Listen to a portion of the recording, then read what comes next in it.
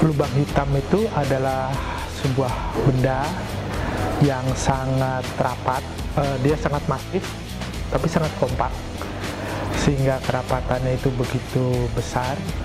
Nah, gaya gravitasi yang sangat besar itu menyebabkan bahkan cahaya tidak akan pernah bisa lepas dari lubang hitam itu. Karena tidak ada cahaya yang bisa keluar dari lubang hitam itu, maka selama ini tidak pernah ditemukan adanya bukti keberadaan lubang hitam.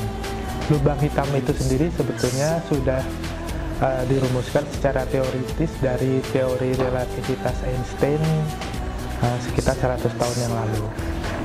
Bukti-bukti keberadaan black hole atau lubang hitam itu uh, ada ditemukan indikasinya dari indikasi-indikasi yang tidak langsung. Contohnya adalah pergerakan bintang-bintang di arah pusat galaksi Bima Sakti.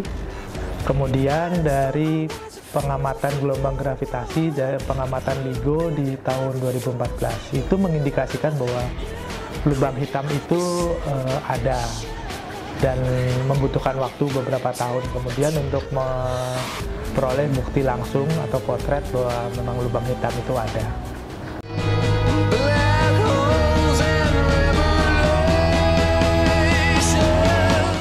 Nah, karena lubang hitam itu sangat kompak dan ukurannya termasuk kecil untuk bisa ditemukan di alam semesta yang sangat luas itu, maka dibutuhkan peralatan yang sangat-sangat kuat untuk bisa merekam keberadaan lubang hitam itu.